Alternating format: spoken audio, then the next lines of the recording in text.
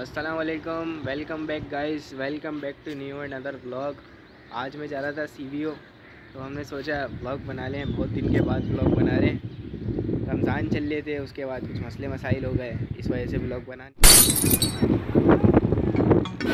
मेरा इस्लामियत का बोर्ड का पेपर है वो टेंशन ही नहीं है। घूमो, फिरो, मज़े करो, तैयारी करने के बजाय मैं सी को घूम रहा हूँ।